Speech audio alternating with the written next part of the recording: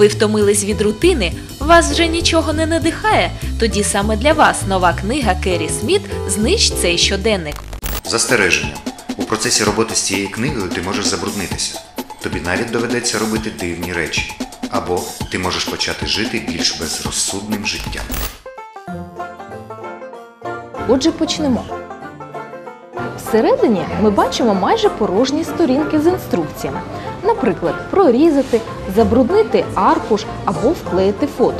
І це ще найпростіші завдання, які б ви не посміли зробити з серйозним виданням. Авторка цього хаосу відома художниця-концептуаліст з Канади Керрі Сміт. Народилась у 1973 році в Торонто. Її книги унікальні журнали, де ви можете робити що завгодно, не боячись помилитися і дати вихід творчості та креативу. Керрі у своїх оригінальних проєктах використовує принцип відкритої роботи, як його називав Умберто Еко, коли твір може завершити читач, глядач або слухач. Цьому випадку ви можете бути не тільки користувачем, а й митцем. Але головне, ви можете розмалювати не просто щоденник, а своє життя у новій фарби. а заодно перевірити помаду або взяти книгу у душ. Її роботи вже неодноразово ставали світовими бестселерами. Це не книга, кишеньковий сміттяр, безлад, антищоденник, знищ мене, відкрий світ знову перекладено багатьма мовами, в тому числі і українською.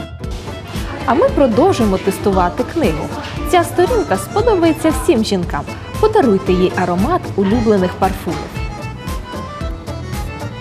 На 200 сторінках кумедні, дивні, іноді незручні завдання, які можна виконувати в будь-якому порядку або не виконувати взагалі. Але якщо ви вже відкриєте книгу, повірте, ви не зможете зупинитися.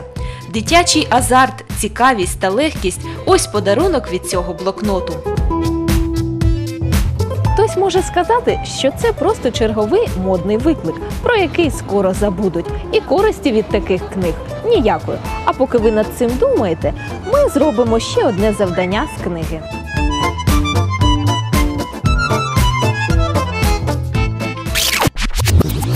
Все, я собралась.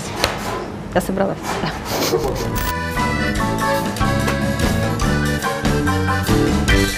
Під час зйомки книга майже не постраждала.